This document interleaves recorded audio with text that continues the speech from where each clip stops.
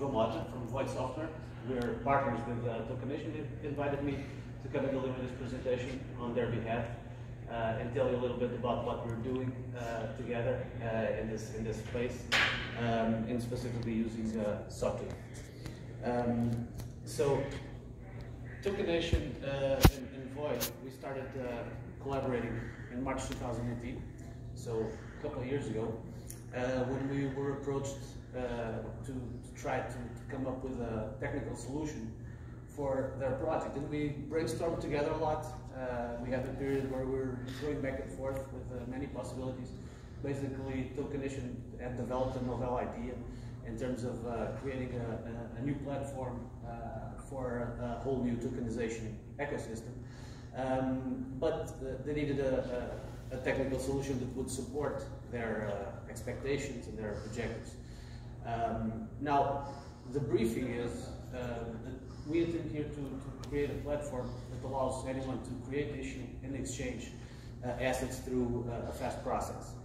Uh, but unlike what, uh, what we see out there in past projects, we want to take it a step further by introducing uh, anti-volatility uh, algorithms. Not anti-volatility, volatility absorption algorithm. So we want to make sure that the ecosystem is sustainable and durable. Um, now, when, uh, when we assessed the available frameworks to do so, it became uh, very early on clear that uh, Hyperledger Sawtooth was a very good candidate for this, uh, as it had a, a, a very interesting mix of, uh, of, features that would support these goals. Uh, but also, of course, as at Void, we had some past experience with, uh, with the project. I mean, even though it was still in early days, and still is in, under intense development, but we still um, believe that it could, it could, it could provide with a, quite a few distinctive factors to help us in the future. Uh, and so, gathering the general project requirements that, that can become uh, quite clear. So, the first one is scalability, because even though we're starting in Portugal, that's where we're based, uh, and we're starting uh, at our own uh, national level scale, uh, we did from the start have the expectation of going global quite quickly with the project uh, which which is happening already. We can say uh, it's already pretty diversified in terms of uh, user adoption in Europe. Um, then, of course, being decentralized, that's um, paramount to the uh, main uh, idea behind the project. Tokenization cannot truly happen in a credible way without a fully decentralized system. Uh, and we wanted to ensure full traceability across the, the whole system uh, as well to meet, be able to meet present and future governance requirements. I mean, we all know that in this place, uh, governance is still uh, very much experimental. I mean, we've got, we've been over the past year exploring regulatory constraints in many different uh, geographies. You've got uh, governments looking at uh, tokens as utility assets, others consider it equity assets, others consider them as currency. Portugal just considers any crypto asset as a, as a currency as any other. So any capital gains or losses from those assets are considered the same as, as what you get in the forex market. It's, it's still, I mean, here in the US it's something else. One thing that we wanted, that we didn't know is we wanted to make sure that we are future-proof as much as we can to meet any, any upcoming uh, uh, requirements like that. So that, that's why basically Sawtooth seemed to us as a, as a good candidate, but it also had, uh, you know, two external potential advantages. One is becoming a contributor to, to a project or having a, an example, a, a workable, or working project based on something and being one of the first to do so. I mean, there are benefits from that, risks as well. The risk uh, normally arising from using something that's still very, very early, early on, still under development. Uh, but we want to take that risk and help push the, the project further. And uh, well, uh, there's another expectation that we have is that the, the, the modular approach to the consensus algorithms that uh, Sawtooth promotes uh, might help us quantum proof our, our consensus in the future. I mean, we don't know what's going to happen in a post-quantum uh, universe, what, what exactly will, will be the reality there. But having swappable consensus modules might give us at least a fighting chance of, uh, of you know, adopting whatever uh, response we get in the future to that challenge. Um, now, I wouldn't say that these other are minor uh, features of, of Sawtooth, but uh, uh, they were, uh, for us, they, they, also were part of that initial uh, decision-making process, the fact that it's agnostic, agnostic to the, the processing language used in the in transaction processors, in terms of, uh, of the team that we have to build out, of uh, the skills that we have to have in-house uh, to, in the future, be able to support the many requirements of the project, that becomes relevant. Uh, and the fact that it promotes separation between network and application layers is for us as a custom software development company that's always been pretty much following the, the three-tier software development pattern. Uh, this resonates with us that, that, we have this kind of, of separation, make sure that we uh, deal with the business, business logic in a as, as independent as possible manner as we deal with uh, data representation. Um, last but not least, um, the promise uh, behind Sawtooth that uh, we can leverage trusted execution environments to allow off-ledger transactions to occur without breaking the rules that we set up in the transaction processors is pretty appealing. I mean, again, uh, this has its own challenges. I mean, this does mean using certain specific hardware. Uh, it does reduce the, the, the, number of possibilities we have right now uh, in that respect. Um, but again, we are also very keen on pushing this forward, on supporting core developers, trying to work with them, give, give them feedback uh, to try to, to promote this technology as much as possible and make it a usable working reality in the future. Um, so being here at the Apple Forum, probably most, most of you know the, the key features behind Sawtooth. I'm listing it out here just uh, for, for reference, uh, but uh, we know that uh, uh, it's peer-to-peer -peer network, it has a distributed log, uh, so the separation of layers I mentioned before, and so on. But mainly, it has this, the, the, Sawtooth docs show this, this sentence, which I think pretty much resumes it in a nutshell. It intends to keep distributed ledgers distributed and making smart contracts safe. Now you might say that uh, saying that keeping distributed ledgers distributed is a redundancy. It's, it's pretty, sounds pretty redundant. Um, but in practice, it's, it's the, we, we, like to remind ourselves of that every now and again because whenever you start building uh, additional logic or more complex logic on top of a blockchain, um, there will be certain temptations coming up, especially from product owners who are just focusing on what the end product should be, start coming up with rules that really don't work in a fully decentralized world. So we keep reminding ourselves that uh, to be fully decentralized, really, you don't have a, one central body of governance. You always have to think in a, in a decentralized fashion. So that's kind of a big reminder. One of those things you put up on the wall uh, so that uh, everyone remembers it uh, throughout project development. now there are, of course, a number of challenges that, that we have to face. Um, now, the, the, fact that the, the, the consensus mechanisms can be swapped on the fly, it's, that's not something that's fully working on Sawtooth. We know that there's a number of, uh, uh, of encumbrances still. It's not something that's so easily done. It's more easily said than done. Uh, but it's a work in progress, and the the fact is that right now we don't need to be swapping consensus all the time. It's uh, just something that we need to be there in the future. Um, so it's, it's easily dealt with at the moment.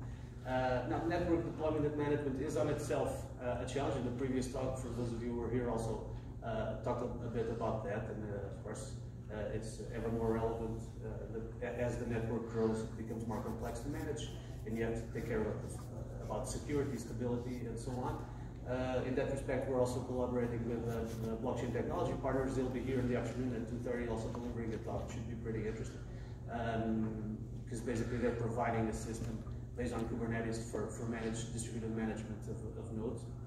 Uh, and of course, with that, that entails uh, its own challenges in, in, management of peers. We're right now we're using PBFT consensus. We were very keen on using the PoET, proof of elapsed time. It was supposed to be also one of the the big add-ons uh, from Sawtooth. It's not fully operational at the moment. We have to stick with PBFT and hopefully uh, change it in, in the future. Um, but but that also brings its own challenges because PBFT kind of requires it. We have uh, a known list of members, a static list of members beforehand. So managing that static peering uh, needs configuration reconfiguration frequently. Uh, so also challenges we're dealing on a day-to-day basis. And for now, for the current size of the network, we can uh, certainly deal with it. Uh, we just need to be prepared for the future as we grow more. Uh, and of course, working in this rapidly changing environment of a project that's not the most mature. We all know that Fabric is way more mature than Sawtooth within the Ledger uh, uh, umbrella. Um, that, that brings about its own uh, challenges. Um, throughout all this, we're still trying to be innovative uh, while steering clear of centralization. We're still trying to bring here a lot of the business logic that Tokenation has created and makes it, sets it apart from other projects in this space. Uh, as an example, and this is uh, just one, one of the examples that I can talk about, a lot of the, of the other algorithms of the other rules behind Tokenation are still under NDA. They'll be released to the public in a couple of months in the white paper. Uh, but this is a, a small bit example of something that, that's uh, central in the, in the platform. We are able to recover tokens in case of uh, loss of, uh, of, private keys or in case uh, the holder decides that those tokens belong to someone who's, for example, underage and they'll uh, receive them once they, they, they enter into adulthood. So basically what we have is mechanisms that will send those tokens after a preset period of time defined by the holder. So one year, three years, five years after that time elapses, those, if those assets are touched or moved, they'll be distributed by default to the community if there's no other claim for them, or to another predefined wallet according to KYC, a KYC process that also is uh, uh, pre-mandatory beforehand uh, so that, that that can happen. Um, this, uh, this on its own, uh, being a relatively simple implementation, is innovative enough that so far we haven't found that, uh, that many people that have done it before, so it means working very closely together with the community to, to, to make it a, a reality. In terms of the project itself, just to give an overview of, of what we're trying to achieve. So uh, the um, two main project revenue sources here are uh, Tokenation and, and, Savingscoins. So Tokenation is the platform for the tailor-made and low-cost tokenization of assets, be it uh, companies, ideas, uh, whatever. But we will, we do have a process to help you uh, come to this place.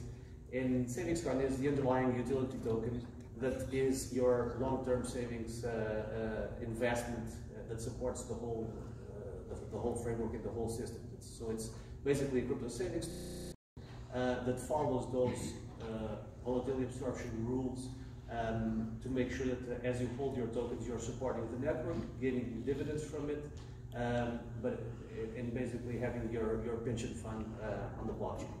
Uh, then we have token storage and management so our, our own wallet, uh, and a number of utilities for the many different applications that we currently have in the roadmap and that, that will appear uh, in the future. Um, special uh, mention here to the exchange, this decentralized exchange that we're developing. Uh, one of the innovations here as well is to have the full order book on-chain. Um, this, we believe, is another big step in meeting regulatory uh, compliance requirements in the future um, as more and more. And I've, I've just uh, last week was reading through this report from the New York New York New York Lawyers Bar to the government uh, regarding an opinion on cryptos. Uh, because the IRS has, has launched quite a few number of uh, guidelines regarding uh, cryptos. And one of the key uh, areas of conflict and of, questioning there is how to assess the value of your crypto assets in terms of revenue taxing. Uh, now, the, the suggestions from the bar are that, that you should take the average value in the exchange when the asset was traded. Uh, but we all know that that's uh, kind of murky ground there. I mean, it depends on which exchange it is. I mean, it's a, it, and most exchanges out there are centralized. So we believe this is one of the solutions for that. that if we have a full order book already on chain, we kind of get rid of, of that uh, doubt there and make it even more transparent. Um, so basically, uh, uh, Savingscoin, we believe, is, uh, is represents a new era for savings and based on crypto assets. and the any other token that's launched on Tokenation benefits from the same algorithms. we kind of list them out here for reference.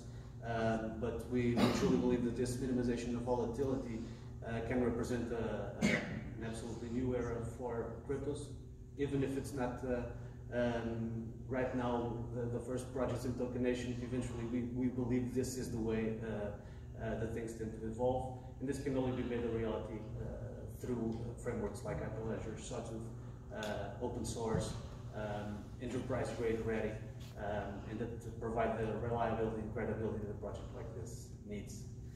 Uh, my time is up now, so if you have any questions, feel free, but we'll, we also have a booth in the sponsors lounge. Uh, we'll be there to answer any, any questions that you have, uh, any details, provide additional information. I'm very, very happy to do so. And you know, thanks a lot for, for coming and uh, for being brave enough to, to weather it out and uh, face the risk of all the risks that we are subject to these days uh, and being here. Thanks very much.